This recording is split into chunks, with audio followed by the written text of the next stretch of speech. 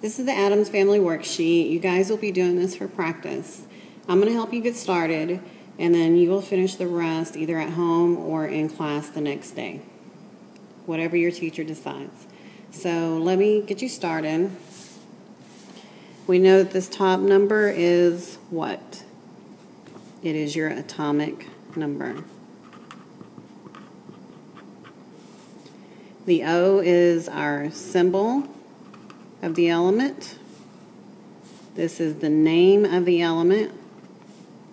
And this is the atomic mass of the element. The atomic number equals the number of, you guys should have this memorized by now. So the atomic number is equal to protons or electrons. And the atomic mass is equal to the number of, whoa, wait a minute. According to 8 Man, I take the atomic mass and I subtract the protons to get my neutrons. But this is asking me what is the atomic mass equal to. It's not asking me how many neutrons there are. So your atomic mass is equal to your protons plus your neutrons. Think about it. The most of the mass of an atom is located in the nucleus. Well, what is in the nucleus? Your protons and neutrons. Therefore, protons plus neutrons equals atomic mass. You have to be able to manipulate this equation, which is, that's what this is. And you can see that if you're trying to find neutrons, then you will subtract these two.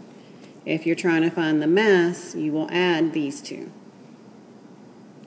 If you're confused, make sure you have your teacher help you to understand.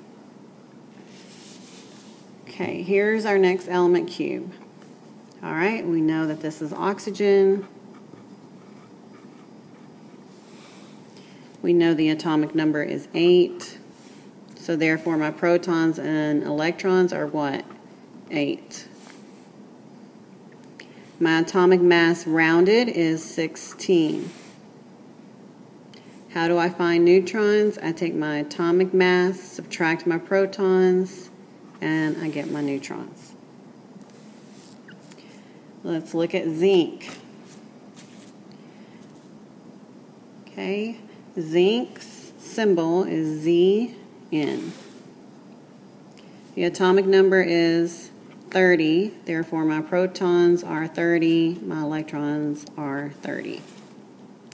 My atomic mass is 65.39. So this will stay 65. 65 minus 30 is 35, and that's what I get for my neutrons. Lithium, the atomic number is 3. So therefore I have three protons, three electrons. My atomic mass is 6.9. That will round to 7. The atomic mass minus protons equals 4 neutrons. You know how I said up here the atomic mass equals the number of protons plus neutrons? Let's see if that's true. Look at lithium.